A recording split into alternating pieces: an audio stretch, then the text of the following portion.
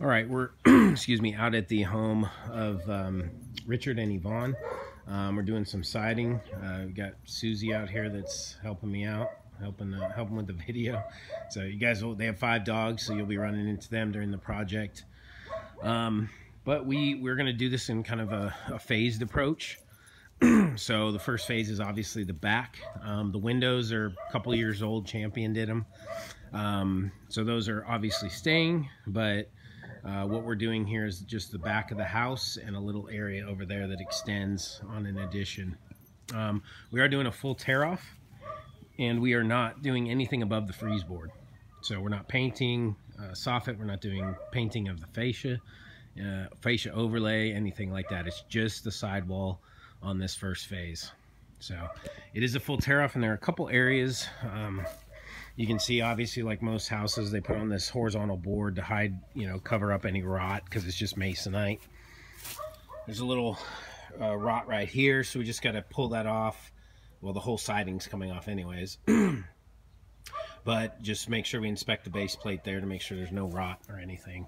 Um, uh, so that'll be a full tear off. And then as we come across here uh, there's a little outlet right there um, some wiring, so we'll have to, some Romex, so we'll have to pull that away from the wall and then uh, reattach it. We got a hose bib and I believe one GFI. Oh yeah, there's a GFI right there. Um, the next place, or probably a little concern, is right under here. Hey, Susie. Hey.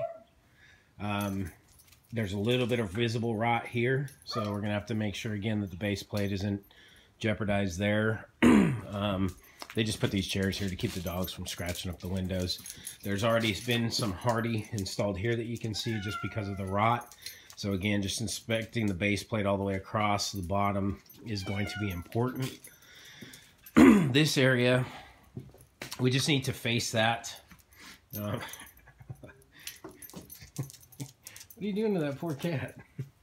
Uh, so this area here, um, underneath the little stoop beneath the door that will need to be faced with Hardie. um, there's already, you can see the, the two by fours uh, running underneath that we can nail to. Um, so that needs to be done as part of the project. And then we're just wrapping these windows. They have like a little molding trim on them uh, as window trim. That'll be changed out. Probably have to use a, a one by two, maybe a one by four just singly running in between here, but it's gonna have to be probably a one by two over here to accommodate both the door and window trim or maybe even just a one by four. That's probably more than one by four. I don't know. It's gonna have to be close but we'll we'll have to figure out how to trim that out. But all the windows and doors will be retrimmed in a Hardie material. This Hardie will all go away of course. That Hardie will all go away with the full tear off and we'll do the Hardie plank siding all the way around. We are going back with a eight and a quarter cedar mill select. So uh, we're not going back with the vertical.